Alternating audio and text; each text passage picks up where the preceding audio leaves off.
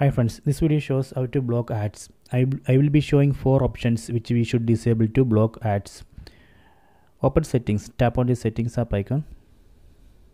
Then select privacy, then select advanced, then select ads.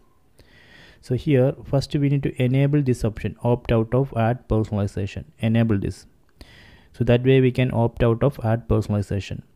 Then we need to reset advertising ID. You can see it's ending with 3F3 I am going to reset it. Here you can see the reset option. Tap on reset advertising id then tap on ok you can see it has created new advertising id the google stores data against this id so if you reset it that way we can clear the history. So this is the first option which we should disable. The second one is google location history. Select it. Google stores locations. Based on that it shows ads. So better turn off this location history feature you can see right now it's off. The, the third option is activity controls.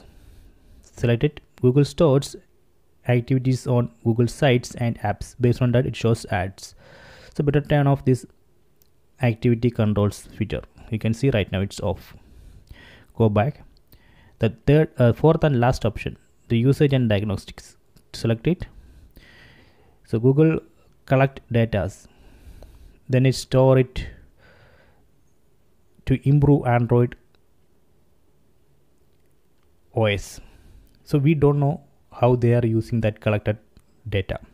So better turn off this feature also. So right now it's off. So these are the four options which we should disable to block personalized ads. Okay, so please check it.